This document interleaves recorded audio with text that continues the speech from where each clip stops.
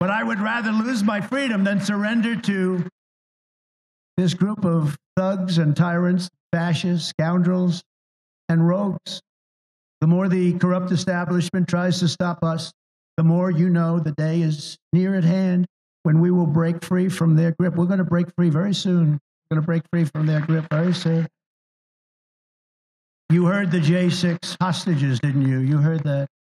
And uh, I will tell you, there's never been in the history of our country a group of people treated the way they've been treated. There's never been anything like it. Carpenters, mechanics, lawyers, firemen, policemen, military people.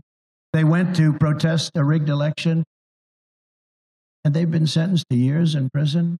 When they burn down Portland and they take over a vast section of Seattle and they burn down Minneapolis, and I had to watch television as a CNN reporter is standing saying, This is a peaceful protest. I'd like, this is a peaceful protest.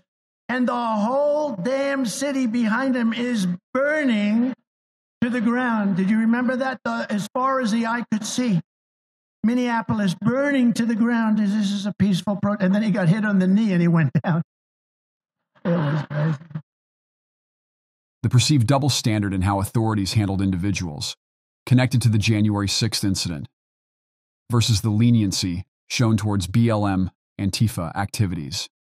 It raises concerns about society's tendency to categorize and treat specific groups differently, possibly due to biased media portrayal and legal system discrepancies.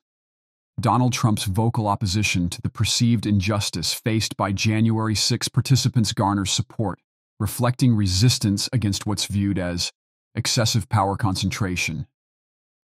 His stance underscores the democratic principle of resisting encroachments on individual freedoms and encourages defiance against conformity and oppression.